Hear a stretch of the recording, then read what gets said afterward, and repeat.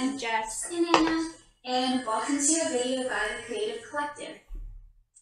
So, for the people who are watching this for the first time, you might be thinking, why is this girl having a conversation with herself? Well, surprise, I actually am not having a conversation with myself because I struggle with dissociative identity disorder.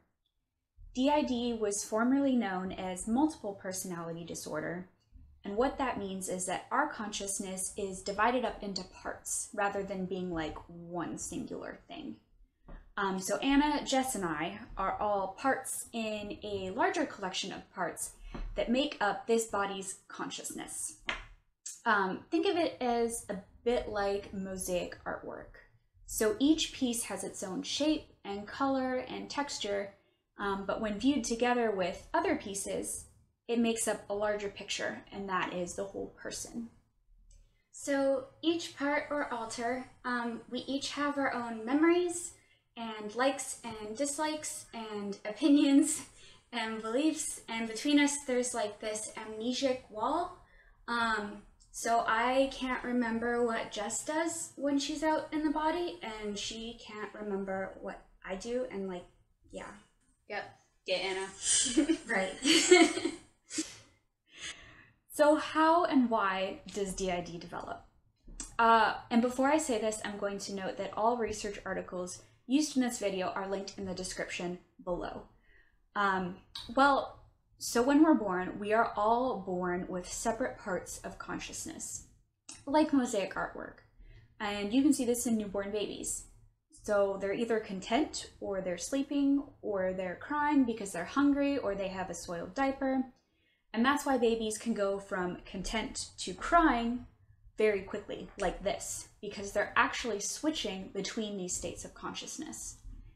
And if these children grow up in a stable and supportive emotional environment, over time the caregiver the caregiver helps the child to form connections between these parts of the consciousness just through normal development. And so eventually around the ages of 7 to 9, um, the links between these parts become solidified around one singular identity. However, what happens to the child who experiences severe trauma or abuse during these years? Um, if they have an emotionally supportive caregiver, it's likely that the child will turn to that caregiver for support. And in turn, this caregiver will help them to process what has happened and help them to assimilate that part of consciousness that had the traumatic experience with their sense of, like, this happened to me. Uh, and these are usually the children who typically develop PTSD. If the child does not have a supportive caregiver, however, they're forced to deal with the trauma on their own. And this trauma might be too much for the child's brain to process and cope with. Uh, so rather than assimilating that part of the consciousness with the sense that, yeah, this happened to me, instead the brain separates off that part of consciousness and puts up a wall of amnesia around it so that the emotions and the memory of that traumatic experience can't interfere with the everyday life and functioning of the child. And so these are the kids who develop DID or OSDD, which is otherwise specified dissociative disorder. So instead of growing up with one singular identity, um, these children grow up with multiple identities. So that's why we are the way we are. Um, our parents are good parents, but for whatever reason, we never developed a secure emotional attachment to them. And then when some really severe abuse happened, um, we were forced to deal with it on our own. And our brain separated off those parts of consciousness and built a wall to hide those memories and emotions from Jen um, because she was like the functional one who had to go to school and keep the secret. Um, so now it's several of our littles and child alters who hold those memories and emotions, almost like they're frozen in time. Um, but it was the only way we were able to survive and still have a functional life. And because that's how our brain learned to deal with trauma and stress, you know, to block off that part of consciousness rather than assimilate it with our sense of self, that's how our brain has dealt with trauma and stress ever since.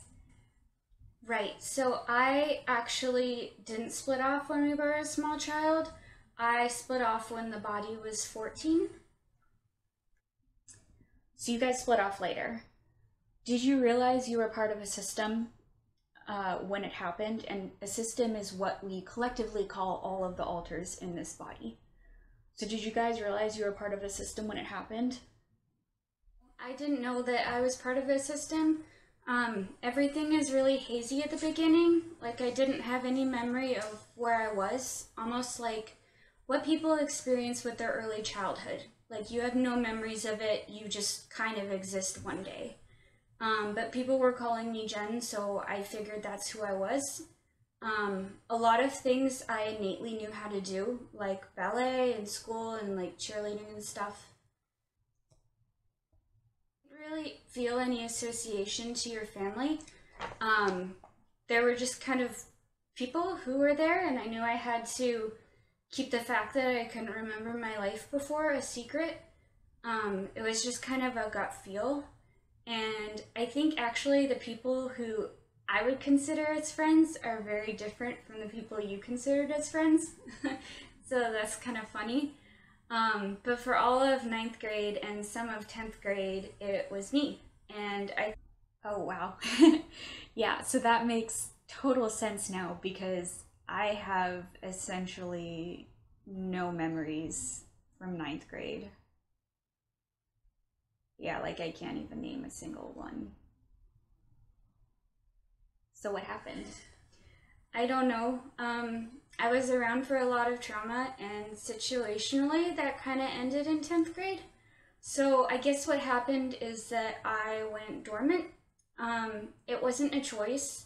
It was more like I went to sleep and just never woke up. And when I finally did, we lived in a different country, and it was years later.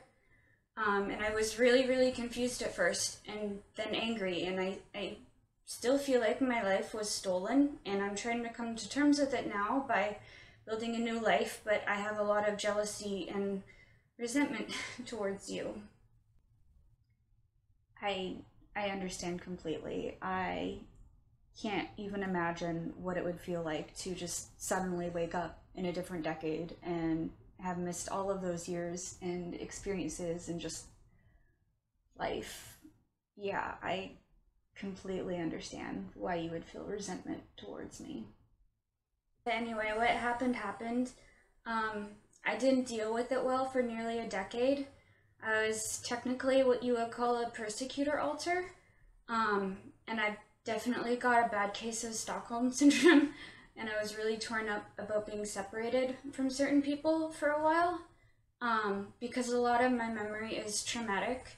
I experience a lot of flashbacks and trauma responses, and everything together just created this like hurricane of despair. Um, and I was trying to adjust to the fact that it wasn't just me anymore, and I don't know, it was just like really, really hard. My emotions were overwhelming, and I acted on them a lot.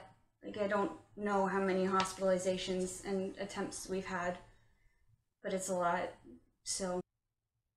Wow, that's a lot to handle. I am so sorry you had to go through that. So, what about you, Jess? Yeah, so for me, it was a bit different. Uh, I'm technically a fictive alter, although I'm not really a huge fan of that term. It basically just means that my personality is based off of a fictional character, in my case, Jessica Jones. Um, I like to think of it more like I was just subconsciously inspired by her. I don't actually think I'm her, although I know that can be the case for some fictive and factive alters. And the reason that can happen is because DID ultimately is just a coping mechanism. Um, so, say a stressful situation occurs, and then the brain goes, oh, hey, this is a character I've seen who could help, or if we were this character, we wouldn't be in pain or in this situation, or, you know, whatever. Um, and so it's just looking for a solution to a problem. And then, you know, bam, walls off that part of consciousness who associates with that character and has the helpful traits of that character, and it's all just a coping mechanism. So, uh, yeah, when I first came to, uh, I had what I thought were memories from my past, but they weren't real memories. Um, I didn't know that at the time, though. So, my first experience fronting was more just like, huh, like something's not right here. um, and I had this like encoded desire to just get outside and be active. So I went for a long walk. Um, actually, I went for a lot of long walks. Oh my god, I used to be so freaked out and confused because my pedometer would show that I had walked like four miles and my legs would hurt, and I just had like no memory of it whatsoever. Yeah, bitch, that was me. Anyway, I remember Steven was the first one to approach me in the inner world. And He basically explained what was going on and that we needed to help you. Um, because you were kind of a wreck. But anyway, I was just kind of made sure you ate, got outside, you know, normal life stuff. But yeah, bomb idea by the way, Anna. We should just like make it a goal to blow Jen's mind every episode. You're off to a good start. Uh, so when we're not fronting, we go to our inner world. It's like this kind of conceptualized world in our mind where we can all interact. But I mean, my memories from there feel just as real. And that's much different for me, being the host personality. Um, I don't really have access to the inner world. The only time I've, or times I've ever been there has been when I'm in like deep, deep meditation. Um, so, for the most part, when I'm not fronting, either I experience total amnesia, just like time jumps, or it's very hazy, like trying to recall what happened in a dream. We should make our next video about switching now. I'm one step ahead of you, like the journal. Anyway, guys, that's all for today. We hope you enjoyed this first look into our lives. Um, be sure to like and subscribe, and we will see you next time.